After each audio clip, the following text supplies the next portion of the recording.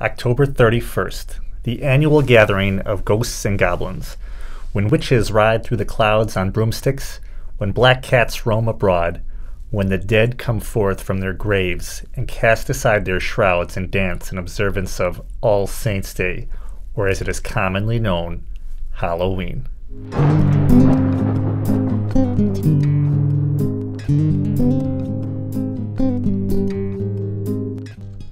Hi, this is Mike from Blue Island Public Library. The city of Blue Island has a long history of celebrating Halloween, and the recent digitizing of the Blue Island Sun Standard newspaper has made this apparent. Today we're going to be focusing on some Blue Island Halloween related newspaper clippings from the early 1900s, including local parties, fundraisers, activities, advertising, and of course, some scary stories. The Sun Standard had a recurring section in each article called All Around Town, and later Blue Island Locals that detail local happenings or, as it was described, some short items about your own and the doing of your friends. These were things like birthdays, picnic parties, births and deaths, people coming in from out of town, people going out of town, local police events, city ordinances, and you guessed it, Halloween parties. There was no shortage of Halloween parties in Blue Island. There were parties everywhere parties on Greenwood, Gregory, Grove Street, High Street, Maple Street, New Street, Olive Street, Walnut Street, Western Avenue. You name it, there was probably a Halloween party on that street at some point in time.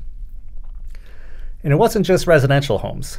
Many businesses and groups had Halloween events, such as this one from the Blue Island Eagles, or this one at the Greenwood School Gym, or this one from the Brotherhood of Locomotive Engineers. The First Lutheran Young People's Club had several Halloween parties. Some of were to set had at least 100 people. Other venues and groups include St. Aidan's Sunday School, Lincoln School, the Tecumseh Camp Fire Girls, the Cuckoo Club, the Tennis Club, the Women's Relief Corps, and the list goes on. Halloween also had its expected effects on local businesses like the selling of Halloween themed items, such as this advertisement for Halloween novelties, or this one for Halloween party favors and decorations. There were also food specials like this one for pumpkin vanilla ice cream, or this Halloween special for orange pineapple in New York ice cream. These were being sold for about 50 cents, about 6 $7 in today's money. Canned pumpkin, on the other hand, would cost you about 15 cents a can, or 25 cents for two. I didn't actually find anything on the Lyric Theater other than the occasional ghost movie or play, like this showing of The Midnight Bell, which was a silent movie that is now lost. Some other businesses had their events for the purpose of fundraising, such as these ones from the Blue Island Retail Food Dealers Association and Blue Island basketball team, each charging 50 cents admission. The Garfield PTA raised $60 in 1919, or somewhere around $800 in today's money. Here's another one from nearby Mount Greenwood raising a similar amount. Now, you're probably wondering what exactly did they do at these Halloween parties 100 years ago? Well, it seems like most of what you would expect. Costume and masquerade parties were very common, some of which included prizes for best costumes. The traditional apple bobbing made its appearance. Sometimes it was just an excuse to get together with friends, or it was tied in with a birthday party or other event. Other Halloween party events included the roasting of marshmallows and the telling of ghost stories. It was good old fashioned fun, at least most of the time. The city did have its fair share of troublemakers from time to time. One year, when Halloween fell on a Saturday, it prompted this notice that extra plainclothes officers would be on the lookout for anyone destroying or defacing property. One person even complained Halloween is celebrated longer each year. Here's another police notice from 1924 titled, Be Careful What Pranks You Play Halloween Night, which I could barely make out, but I believe it says that any boy or girl caught marking up store windows or automobiles with grease, chalk, or paint will be severely punished and that parents will be held responsible as well. It even notes that in the previous year, several boys had to wash all the windows on Western Avenue while police stood guard because they were caught greasing one window, which is a far cry from roasting marshmallows and telling ghost stories. Speaking of ghost stories, Blue Island and its neighbors had a few of their own. Let's start with a non scary story like the start of the Cedar Park Cemetery near neighboring Calumet Park. In July 1923, a mysterious body was found buried in a field in a lonely grave not far from the corner of Halsted and Vermont Street. it was then called the village of Burr Oak. Nobody could figure out why it was there, even calling it a great murder mystery. So the Blue Island police and other authorities called in a shovel brigade to come in and dig everything up. They found that the body had been autopsied and had a dated foot tag stating that it was an unidentified white man found in a river in Chicago. Everyone thought the undertaking firm just made a mistake because it was commonly thought that there was going to be a new cemetery, but that it was going to be west of 126th and Racine, at least a half a mile away. It turns out that it was all just a misunderstanding when, quote, a deputy coroner learned that officials of a new cemetery called Cedar Park wanted to start burials in the cemetery to make it such.